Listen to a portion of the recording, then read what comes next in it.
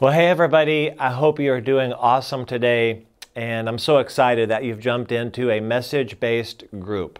So, if it is your first time and you're a little nervous or you're not really sure what to expect, I hope that you will just relax, jump into the conversation, and just see what God might want to do in your life in these relationships in the next few weeks. If you're returning to a message based group, again, welcome back you know from experience that you will get the very best out of the next 10 weeks by listening to the message each week and coming prepared to discuss and learn from each other. Uh, for the next 10 weeks, we're going to journey through the book of Acts, which tells the history of the capital C church.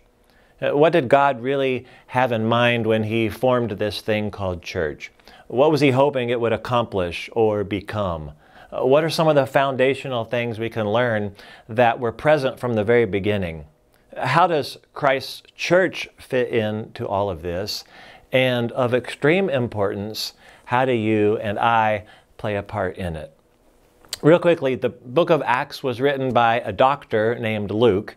And if you're familiar at all with the Bible, you might recognize his name. He's one of the four people to write about the life of Jesus. Okay, we have Matthew, Mark, Luke, and John.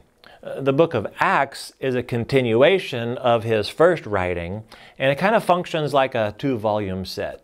Right? Volume one is all about the life of Jesus, his teachings, who he was, what he did, and it goes right up to the point of his crucifixion and includes conversations with the disciples after his resurrection.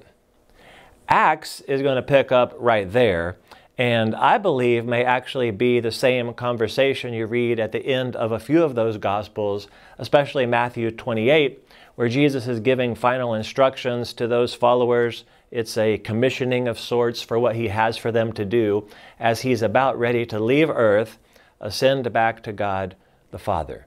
And the book of Acts records the events and stories and history of what happened from that point on. It's a record of how the church began and became what we're calling an unstoppable movement that continues to this very day. So here's kind of a summary statement of the church that I think you should become very familiar with. And I built the very first week entirely around it, and it functions as a pretty good guide for everything that happens throughout the book of Acts. Here it is. The unstoppable church is a movement uh, protected by God built around a mission, powered by the Holy Spirit, and advanced by witnesses of a living Jesus. Now, I've thought about it a lot. I've played with the wording. I've wondered if I might be adding too much or maybe missing something.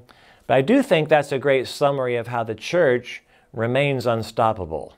And it's probably even a good idea if you were to memorize that that the unstoppable church is a movement protected by God, built around a mission, powered by the Holy Spirit, and advanced by witnesses of a living Jesus. You know, Christ's Church began in 2007 as an official presence in Camden County, right? A specific gathering of people. And it has a relatively short history. But Christ's Church is really just a continuation of the church that began 2,000 years ago in the book of Acts. See, the church was never about a building, it was never about a meeting, it was never about a program or even a name. The church has always been a movement of people on a mission to advance the message of a living Jesus. And the part that you and I play is connected to that very first and lasting mission. And we're going to read it in chapter 1 and verse 8 that we are to be witnesses of the living Jesus. And what do witnesses do? Oh, they simply talk about what they've seen and what they've heard and what they've experienced. And that's how the primary mission and method for the church continues to advance. See, as a follower of Jesus, that's your mission. As a church in 2023, that's our mission. And that mission will carry on until the day that Jesus returns, and God guarantees that it will not fail. See, that's the amazing thing that we are a part of. Okay, the unstoppable church.